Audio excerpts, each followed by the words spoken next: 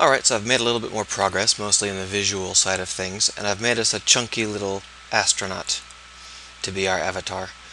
Uh, the air simulation is significantly better, so you saw how it can actually pull your character uh, along with it if the air pressure changes.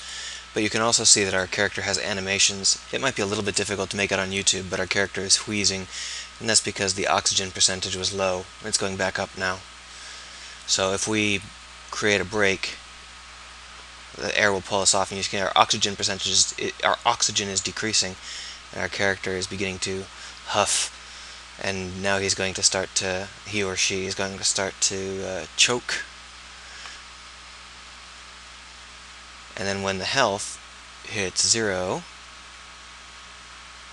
Uh, uh, the good news is that uh, uh, we are hardy space explorers, so uh, as soon as we get some oxygen back, we'll get right back up. But until then, we can't move or anything, which is obviously a downside of not being conscious.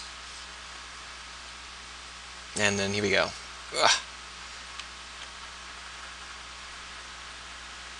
Also, you can see I've changed the wind uh, visual to look more like a cool. Oh, uh, the wind really brushed me off there. To look more cool. Uh, also, also you use up oxygen by moving, like jumping, for example. So if you look up here, it's going up, but if I jump, it jumps down 10 points. Um, I don't have any animation for jumping yet.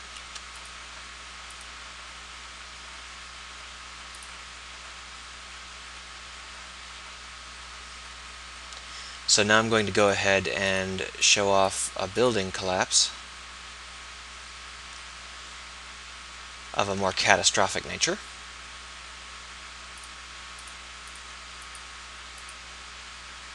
There we go.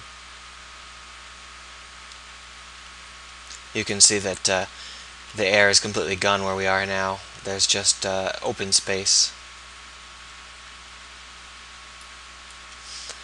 Alright, just thought I'd show you. That's what it looks like from behind. Yep.